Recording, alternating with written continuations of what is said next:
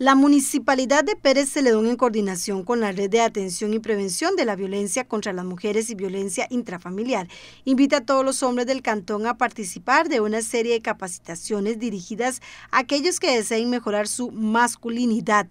paternidad, que tengan problemas de celos, enojo, dificultades para comunicarse con sus parejas, hijos, hermanos, amigos, entre otros. Las capacitaciones serán de forma virtual por la plataforma Zoom, una vez a la semana durante cuatro meses. Cada sesión es de tres horas en horario vespertino de 6 de la tarde a 9 de la noche, dando inicio el jueves 25 de marzo de este 2021. Dichas capacitaciones serán impartidas por el Instituto Wayne, Instituto Costarricense de Masculinidades, Pareja y Sexualidad date.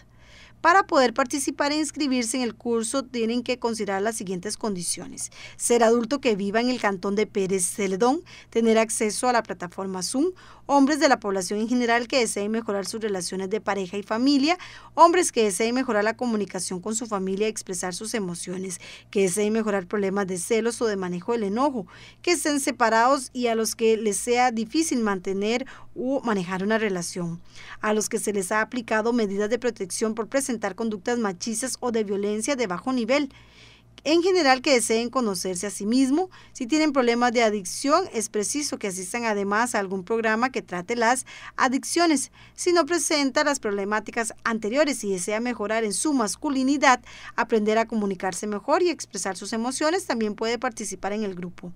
Cabe indicar que no se trabajarán temáticas con hombres que han cometido delitos sexuales, casos penales a excepción de medidas de protección por la ley de penalización de la violencia y quienes han cometido tentativas de femicidio, lo anterior a que esas situaciones requieren otro tipo de metodología y abordaje. Quienes deseen participar pueden encontrar más información en el Facebook de la Municipalidad de Pérez Celedón.